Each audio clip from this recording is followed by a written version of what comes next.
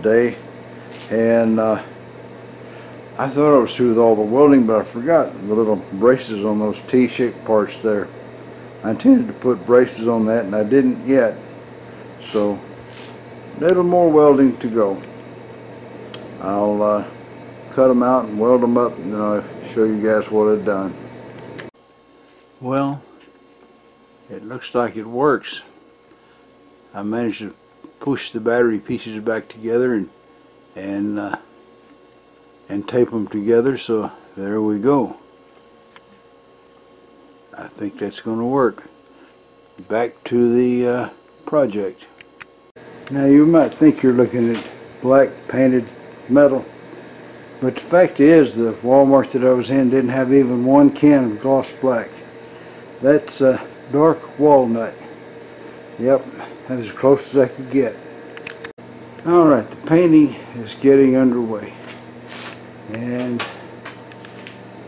soon we'll call it done but it'll be way later on today. All that's fresh and it's got to dry two or three hours at least before I can put another coat on. The wheels are on.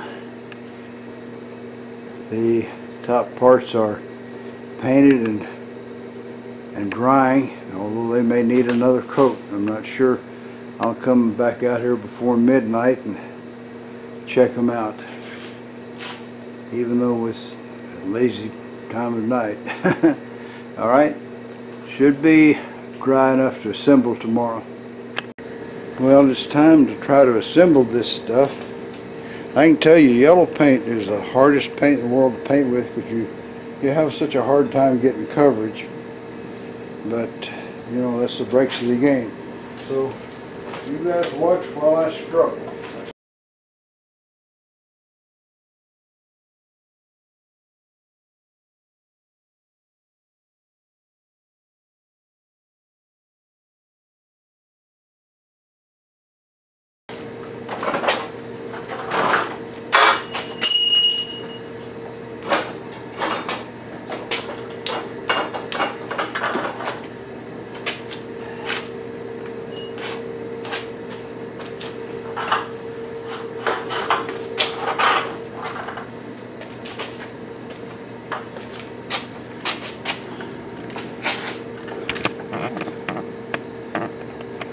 we'll get a pin in there and it'll be stable.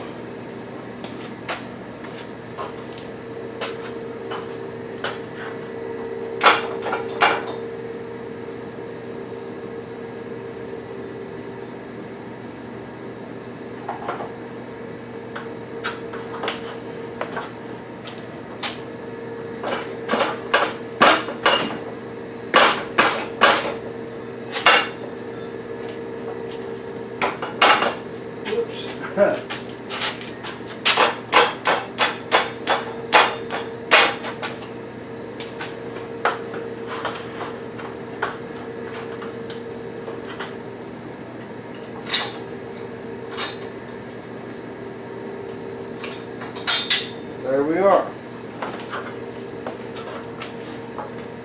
I'll put a nut on both those pins and then I'll put the hoist up there and we'll get a look at what it looks like when it's assembled.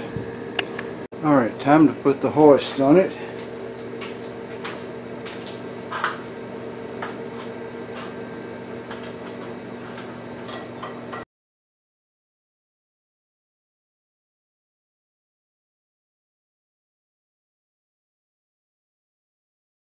Oh. Fun day, fun day. Oh boy. It doesn't fit.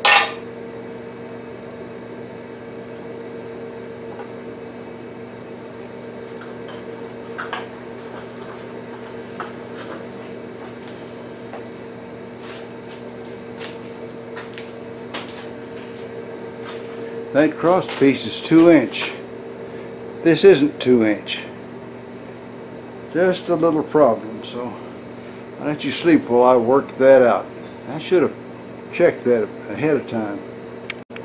Well, I gotta go to Redneck Supply and get some 7 16 14 thread bolts, which I don't own even a one of.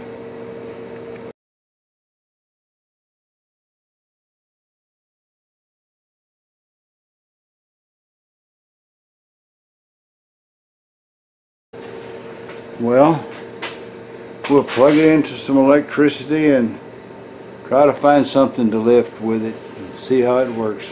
Hang on. Well, I've never had a job as a rigger and I, I doubt seriously I'll ever qualify for one, but we'll try to lift this. And uh, I may or may not tilt it around wrong or something, but it's pretty heavy. No doubt.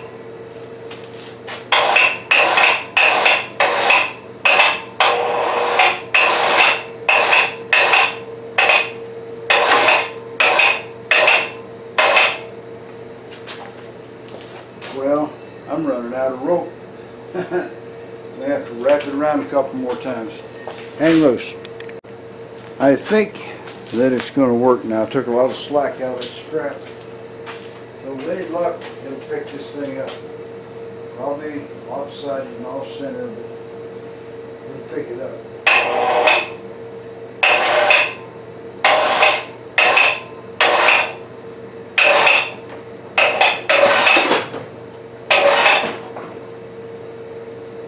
Well, there you are, lopsided and off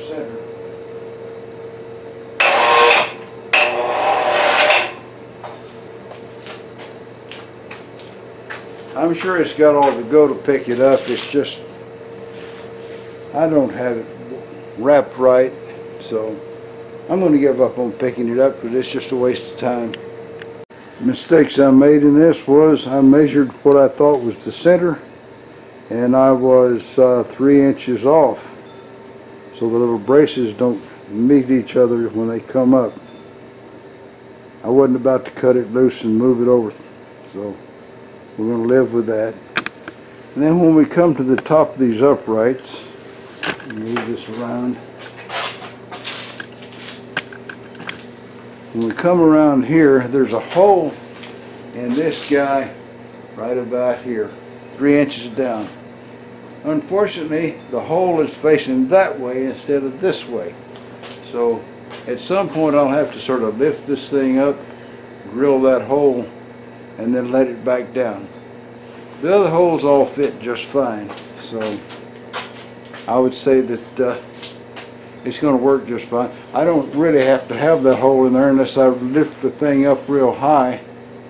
And in fact, I could just lift it up above the top of the bar, up above the top of the bar here and put a pin in it. And that would get me the height anyway without drilling another hole. So, one thing's for sure, it's not going to fall off of there because gravity is pulling it down. Uh, but anyway, now I've got a hoist and I don't have that thing in the floor getting in my way. I've had that darn hoist laying in the floor for a long time now. So it's out of the way. I'll move it to over against the lathe and store it there and, and when I want to pick up something I'll pick it up. What do you say we go see what Bubba's doing? It clears the lights. Clears everything but that little wire reel and all I have to do is just move it out of the way. And it just slides right back in there by the lathe.